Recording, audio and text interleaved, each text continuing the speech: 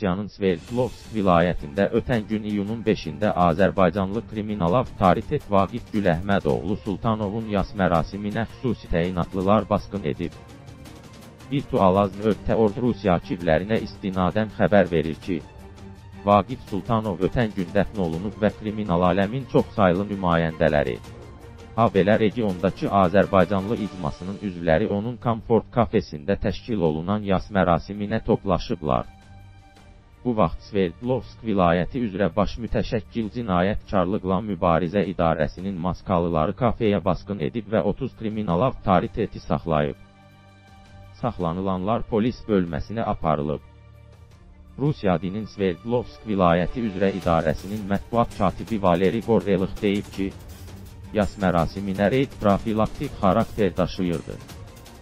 Onun sözlərinə görə, reydə Rosgvardiyanın xüsusi təyinatlılarının dəstəyi ilə keçirilib.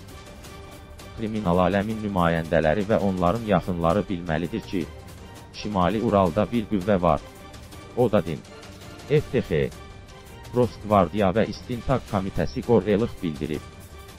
Məlumata görə saxlanılanların bir çoxu artıq buraxılıb. Güc strukturlarındakı mənbə deyib ki, üzərlərində silah və qadağan edilmiş preparatlar aşkar edilməyənlər profilaktik söhbətdən sonra buraxılacaqlar.